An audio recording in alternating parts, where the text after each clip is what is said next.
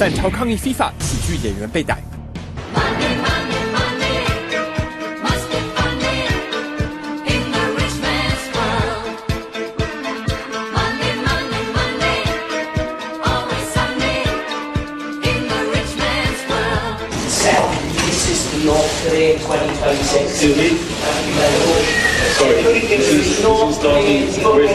前天在瑞士苏黎世，英国喜剧演员布洛迪金上台恶作剧，一把把的假钞落在国际足总主席布莱特的身上。Anyway, I I feel with you and such things should not happen.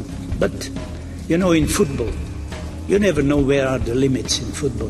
当天，国际足总决定明年二月二十六日举行新一任主席选举。英国喜剧演员布洛迪金上台恶作剧，讽刺布莱特在申办世界杯中受贿的说法。他随后也被警方逮捕。I will not be a candidate for the election in 2016. I have put my mandate at disposal, and now there will be new election election for a new president. 瑞士针对二零一八年及二零二二年俄罗斯及卡达涉嫌行贿获得世足赛主办权一事展开刑事调查。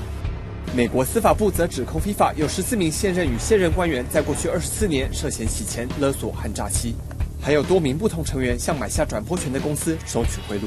动新闻综合报道。上苹果爆料最有利，照片一千元，影片两千元，奖金送给你，我再捐款。每周点阅数最高前三名就送你 iPhone 六手机。人人都是记者，爆料一举数得。爆料请打电话或 APP 电邮等各种方式。